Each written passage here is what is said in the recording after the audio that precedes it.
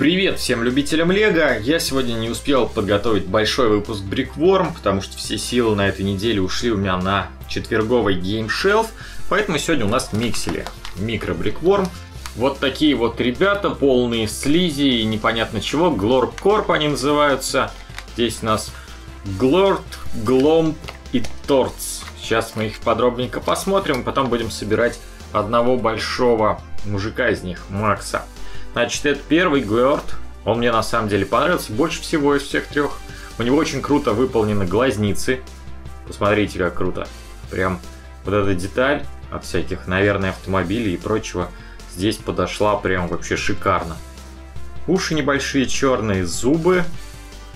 Зубы из трех деталей состоят. Открывается вся эта пасть у него.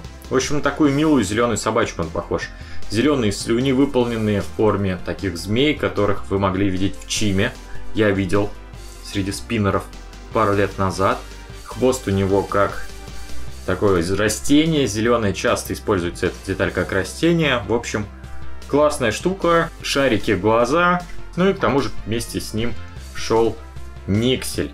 Никсель такой тоже у меня уже есть, но, в общем-то, неплохое дополнение к лучшему микселю из всех зеленых. Но это мое мнение. Следующий Гломп это чувак с огромными ногами. На самом деле они у него, смотрите, какие длинные. Вот такие. Но в сложном виде он покомпактней. У него один большущий глаз. У него не открывается пасть, хотя есть зубы некоторые. И также текут слюни в виде тех же самых змей. Много зеленых прозрачных деталек, много салатовых вот этих вот. Ну, не так много, 4 штучки кругленьких.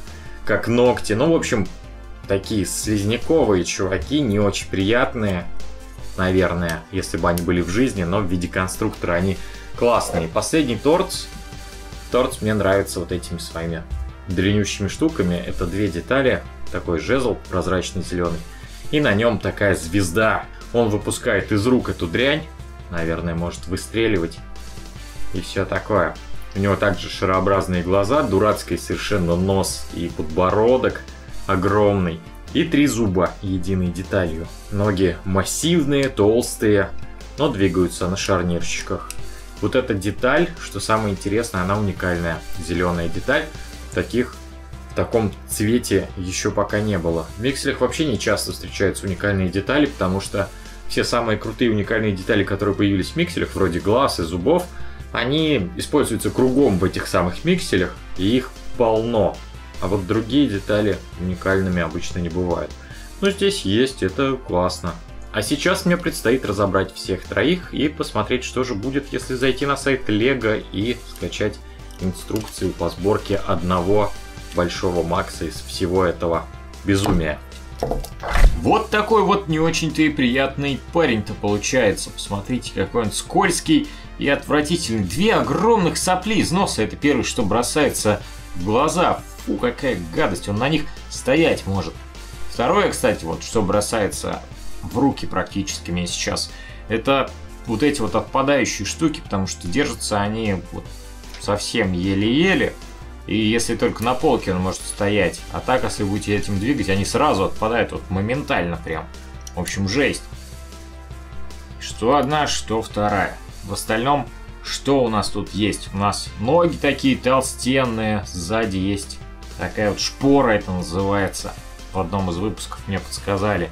Потом у него огромная пасть с этими самыми соплями, хлипкие ручки и такой забавный тоненький хвостик. В общем, он не такой милый, как предыдущий Макс, который из Пайклзов был вообще шикарнейший, но тоже забавный. Для тех, кто любит всякие гадости, такая штука на полке будет прикольно смотреться. Ну а я, наверное, его скоро разберу на детали, на запчасти, на когти и на глаза. Зачем он мне такой нужен? Все, на сегодня все, ребят. Коротенький ролик. Ждите через неделю побольше. Всем пока. И пускай у ваших лего существ не отпадают руки.